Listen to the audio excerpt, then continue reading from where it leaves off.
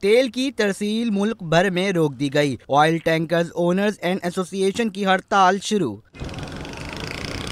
نائب صدر خانزادہ کہتے ہیں کہ گاڑیوں کی مرمت کے لیے وقت دیا جائے۔ پینل مطالبہ یہ ہے کہ بھائی پچاس ہزار، اڑتالیس ہزار، ساٹھ ہزار ایل ٹینکر ہم چلانا نہیں چاہتے۔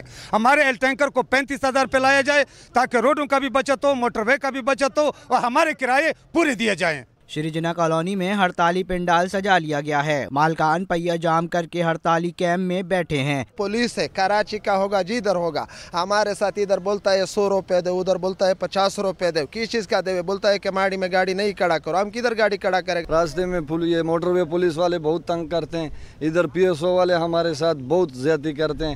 آئل ٹینکرز ایسوسی ایشن ہڑتال کے معاملے پر دو دھڑوں میں تقسیم ہے یوسف شیوانی گروہ ہڑتال سے مکمل لا تعلق جبکہ اکرام دورانی کی قیادت میں دوسرا گروہ مطالبات کی منظوری کے لیے اسٹیئرنگ چھوڑ ہڑتال پر تلا ہوا ہے۔ کیمرامین شریار علی کے ہمراہ علی رضا 24 نیوز، کراچی۔